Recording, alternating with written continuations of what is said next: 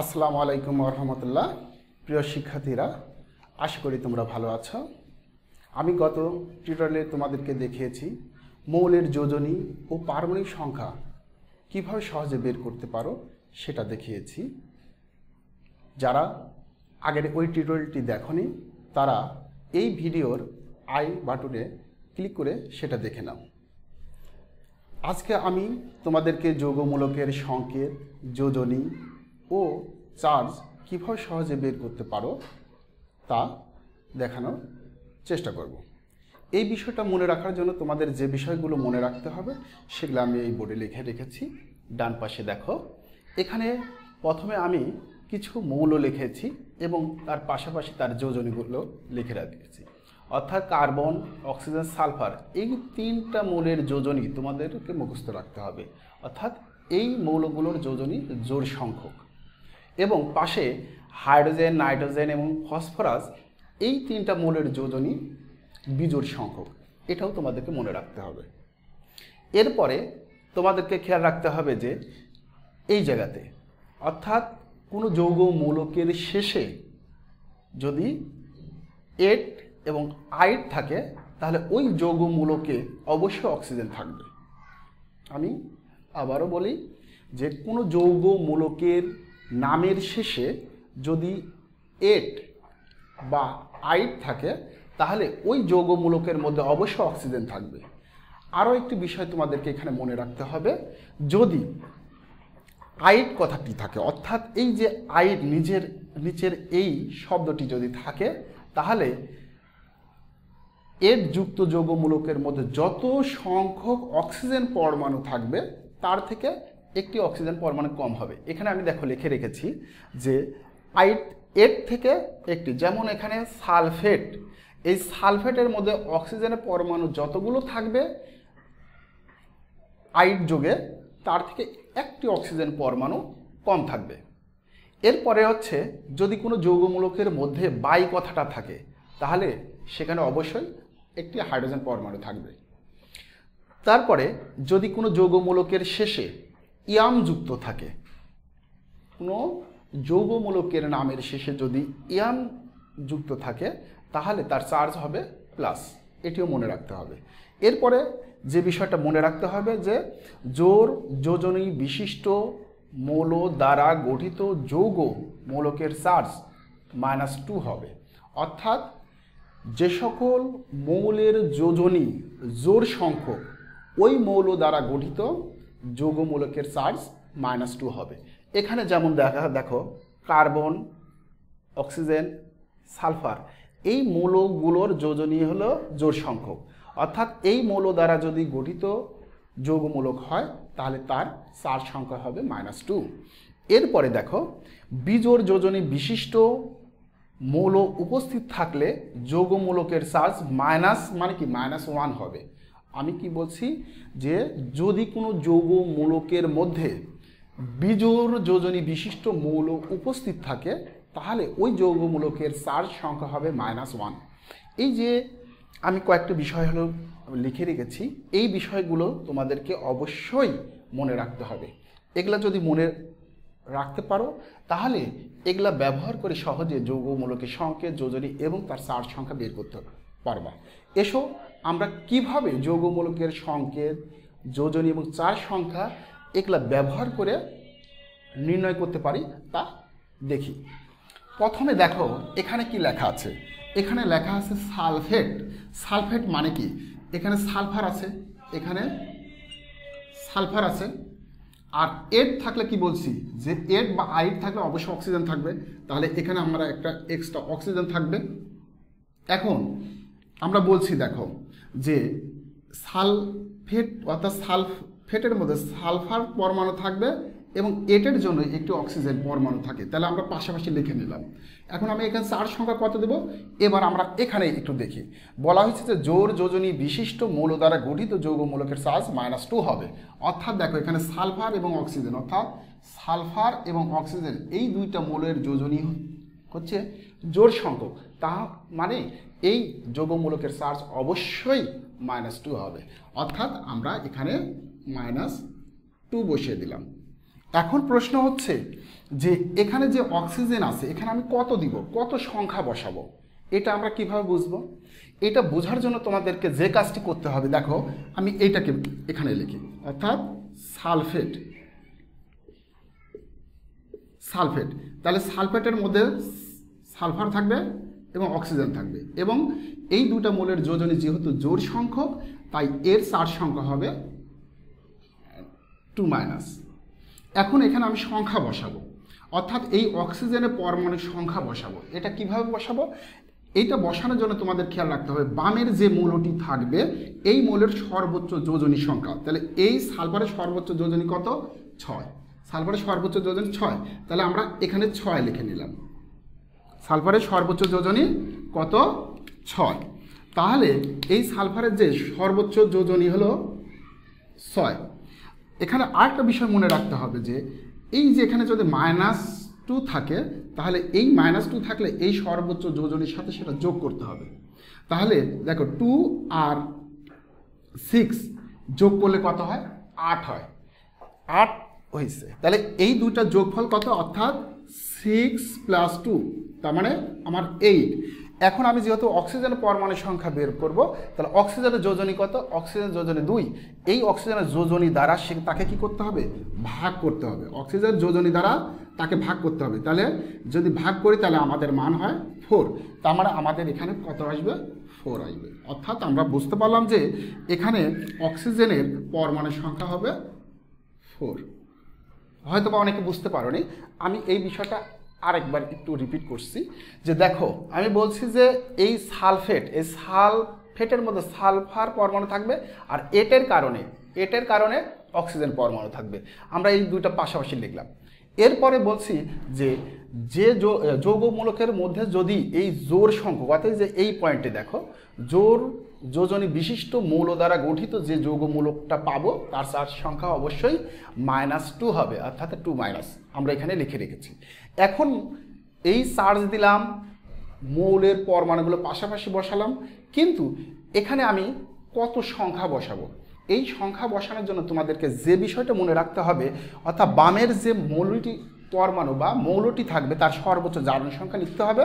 তার সর্বোচ্চ সালফার এর জারণ ইয়া, যোজনী সংখ্যা হলো ছয়। তাহলে ছয়টা আমরা বসালাম। আর এখানে এই সংখ্যার সাথে এই সংখ্যা আমি যোগ করব না বিয়োগ করব, এটা তোমাদের একটু খেয়াল রাখতে হবে। অর্থাৎ যদি এই চার সংখ্যাটা যদি মাইনাস হয়, তাহলে এই সর্বোচ্চ যোজনের সাথে কি করতে হবে? যোগ করতে হবে। যোগ করার পর যে যোগফলটা পাবো, তা এই যে অক্সিজেন আছে ডান পাশে, এই অক্সিজেনের যোজনী দ্বারা ভাগ করতে হবে। তাহলে অক্সিজেনের যোজনী হলো দুই দুই দ্বারা ভাগ করলে চার হয়। তার মানে অক্সিজেন পরমাণু সংখ্যা চার। এই যে আমরা চার বসালাম। দেখো, কত সহজে আমরা একটা যোগমূলকের সংকেত যোজনী এবং এই যে চার সংখ্যা বের করতে পারি তা দেখলাম। এখন পরেরটাতে দেখো, সালফাইড, তার মানে কি? আগেরটা ছিল সালফেট আর পরেরটা হচ্ছে আইট আইট থাকলে কি হবে? আমি বলছি যদি এখানে, এই যে এই এর থেকে অর্থাৎ সালফেট এর থেকে যদি আইটে আসে, তাহলে একটা অক্সিজেন পরমাণু কম হবে। তাহলে অক্সিজেন কয়টা আছে এখানে? সেম এখানে আমাদের যা আছে আমরা দেখে দেখে লিখব। তাহলে এখানে চার সংখ্যা টু মাইনাস হবে। এখন সালফাইড হলে, যেহেতু সাল এর থেকে যদি আইট হয়, তাহলে এখানে যে চারটি পরমাণু আছে, তা থেকে একটা অক্সিজেন পরমাণু কম হবে। তার মানে এখানে থ্রি হবে। আশা করি এই বিষয়টা তোমরা বুঝতে পেরেছ। আমরা আরও একটি এক্সাম্পল দেখি যে এখানে কার্বনেট আছে। কার্বনেট মানে কি? এখানে কার্বন আছে, আর এর যেহেতু আছে, তার মানে একটা অক্সিজেন অবশ্যই থাকবে। এখন দেখো কার্বন এবং অক্সিজেন এই কার্বন এবং অক্সিজেনের যোজনী হচ্ছে জোর সংখ্যক, আর জোর সংখ্যক থাকলে তার চার্জ হয় টু মাইনাস এখন আমরা এখানে তিন দিব না চার দিব, না পাঁচ দিব, এই সংখ্যাটা আমরা কীভাবে বুঝব? তাহলে আমরা পূর্বে বলেছি যে এখানে আমাদের বসানোর জন্য কি কাজটা করতে হবে? যে কার্বনেট। কার্বনেট। তার মানে আমরা পাশাপাশি বসিয়ে দিই যে কার্বন আর অক্সিজেন এবং টু মাইনাস। তা কার্বনের সর্বোচ্চ যোজনী কত? কার্বনের সর্বোচ্চ যোজনী হচ্ছে চার। তার মানে আমরা এখানে কি করব? এই চার বসিয়ে দিই। এখানে যদি আমরা ফোর বসিয়ে দিই। তাহলে দেখো, আমরা বলছি যে এই সর্বোচ্চ যোজনের সাথে এখানে যদি চার সংখ্যা মাইনাস হয়, তাহলে যোগ করতে হয়। তাহলে যোগ করলে আমাদের কত হয়? সিক্স হয়। আমাদের কত হয়? সিক্স হয়। তাহলে যোগফল আমাদের এই দুইটার যোগফল কত? এই দুইটার ফল ফোর প্লাস টু তার মানে আমাদের সিক্স তাহলে অক্সিজেনে এই যে যোগফলটা পেলাম, এই যোগফলকে অক্সিজেনের যোজনী দ্বারা অক্সিজেনের যোজন দুই, এই দুই দ্বারা কি করব আমরা? ভাগ করে দেবো। ভাগ করলে আমাদের আসে হলো থ্রি তার মানে এখানে তার মানে অক্সিজেনের যোজনী, ইয়া, অক্সিজেন পরমাণুর সংখ্যা কত? থ্রি তার মানে আমরা এখানে কি করতে পারি থ্রি বসাই দিতে পারি। তাহলে দেখো, কত সহজে আমরা এই যৌগমূলকের সংকেত, সার সংখ্যা এবং অক্সিজেন পরমাণুর সংখ্যা বের করতে পারি, তা আমরা দেখে নিলাম। এবার আমাদের এদিকে আমরা একটু যোজনী, অর্থাৎ এই সকল যৌগমূলকের যোজনী কিন্তু দুই। তবে একটু কথা মনে রাখতে হবে যে নিষ্ক্রিয় গ্যাস ব্যতীত যতগুলো মৌলের যোজনী আছে, ওই সবগুলো মৌলের যোজনী কিন্তু ধনাত্মক এবং পূর্ণ সংখ্যা হতে হবে। যোজনী, নিষ্ক্রিয় গ্যাস ব্যতীত যতগুলো আছে, সব মৌলের যোজনী কি হবে? ধনাত্মক পূর্ণ সংখ্যা হবে। তাহলে এখানকার যদি, এখানে চার সংখ্যা কত আছে মাইনাস টু এই চিহ্নগুলো বসানো যাবে না। এই যে minus two minus two minus two তার মানে কি? শুধু এই সংখ্যাটা নিতে হবে, তার মানে এর যোজনী হচ্ছে দুই। অর্থাৎ এই যৌগমূলকের যোজনী হলো দুই। এরপরে আমরা দেখব যে এরপরে আমরা যে বিষয়টা দেখব, যে বলছিলাম যে নাইট্রেট, অর্থাৎ যোজনী, যাদের এক আছে, এই যৌগমূলকগুলো আমি পাশে লিখেছি। একটু দেখো, লক্ষ্য করো যে এখানে নাইট্রেট। নাইট্রেট মানে কি? এখানে আছে নাইট্রোজেন আছে আর এট। এটের কারণে একটা এক্সট্রা অক্সিজেন আছে।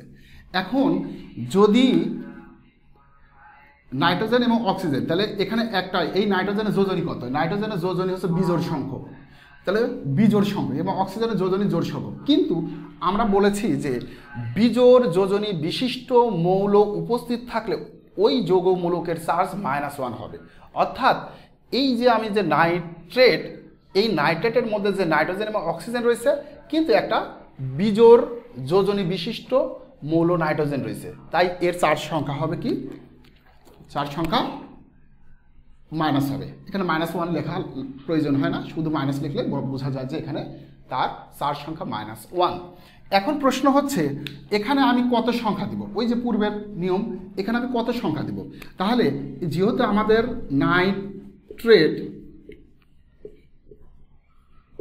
নাইট্রেট তাহলে নাইট্রোজেন এবং অক্সিজেন থাকবে এবং তার চার সংখ্যা মাইনাস।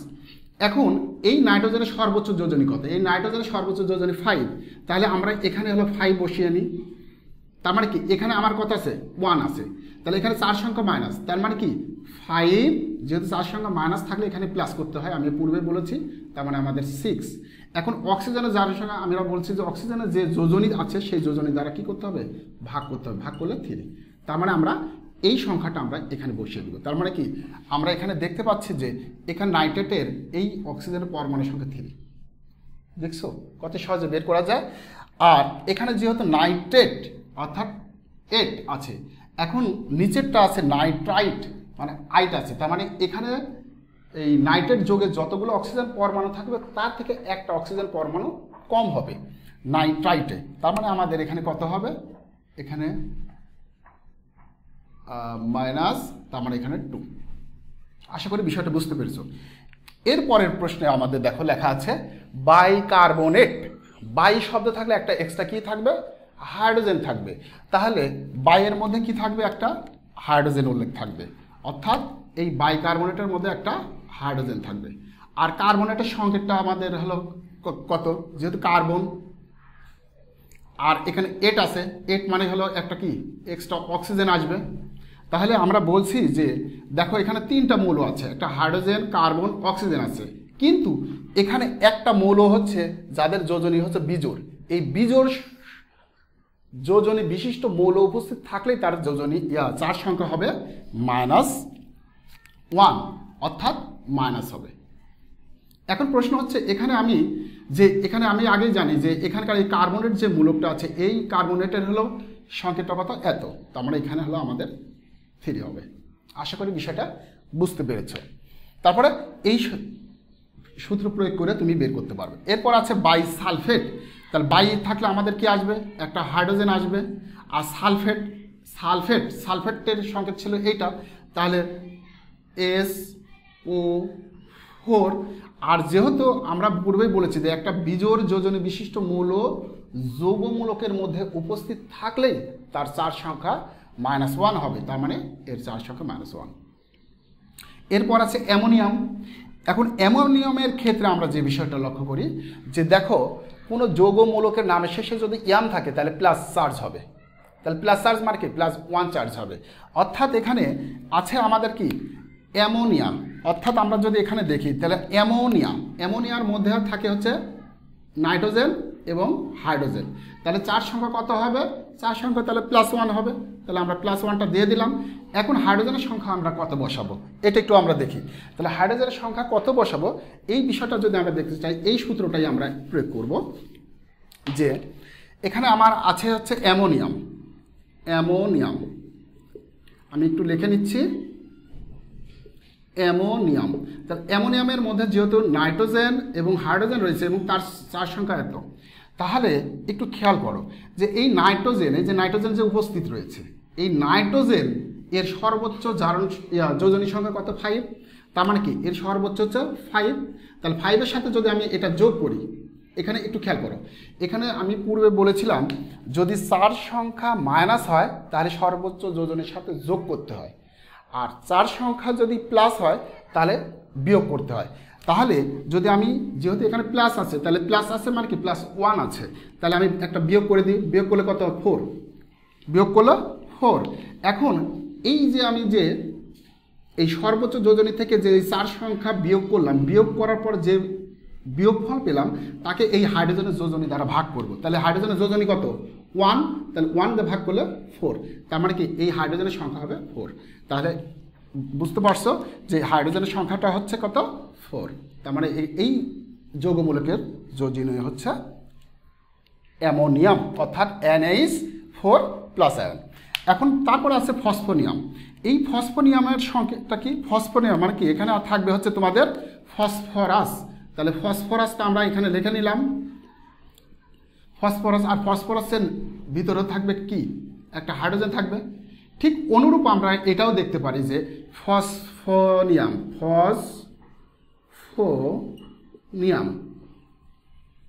ফসফোনিয়ামের মধ্যে যদি আমরা একটু দেখি, তাহলে এটা থাকবে। আর এটার যেহেতু চার্জ হবে নিয়াম, ইয়াম আছে, ইয়াম থাকলে প্লাস চার্জ হয়, তাহলে প্লাস চার্জ দিলাম। আর ফসফরাসের সর্বোচ্চ যোজনী ফাইভ তাহলে ফাইভটা আমরা লিখে নিলাম। আর এই সর্বোচ্চ যোজনীর সাথে এই যে চার্জ সংখ্যা, অর্থাৎ এখানে প্লাস চার্জ থাকলে বিয়োগ করে দিতে হয়। তাহলে বিয়োগ করলে কত পাই আমরা? তাহলে five minus one equal to four আর হাইড্রোজেনের যে যোজনী আছে হাইড্রোজেনের যোজনী ওয়ান ওয়ান দ্বারা আমরা এটাকে যদি ভাগ করে দিই, তাহলে হয়ে যাবে ফোর তার মানে এটার হলো ফোর। তাহলে আমরা এখানে দেখতে পেলাম যে এখানে যে ফসফেনামে যে চার্জ সংখ্যা প্লাস এবং তার হাইড্রোজেন পরমাণু সংখ্যা ফোর। তা আশা করি বিষয়টা বুঝতে পেরেছ। এরপরে যে বিষয়টা আমরা দেখব যে হাইড্রো অক্সাইড হাইড্রো অক্সাইড মানে কি? এখানে থাকবে অক্সিজেন থাকবে এবং হাইড্রোজেন থাকবে।